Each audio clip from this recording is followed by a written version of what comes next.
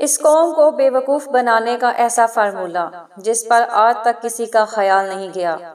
अवाम अजल से लुट रही है और नोटिस कोई नहीं लेता। जी हाँ जी, आज का ऐसा प्रोग्राम जिसमें हम बताना चाहेंगे कि गरीब आवाम किस तरह महँगाई की दलदल के साथ बिजली के बिलों में फंसी हुई है।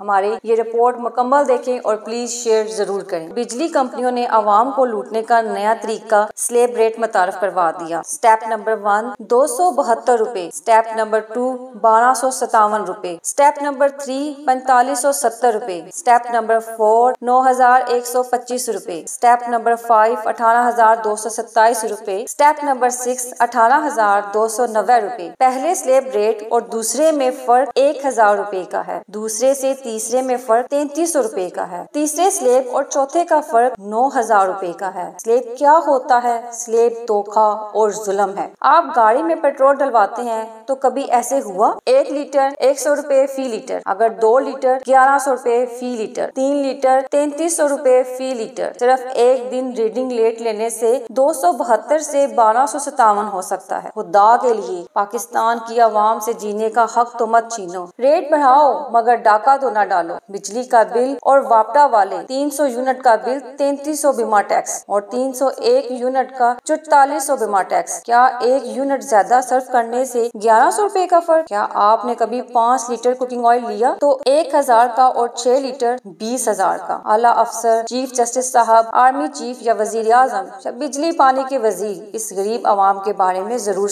सोचे महँगाई कम न करें, लेकिन ज़्यादा भी तो ना करें।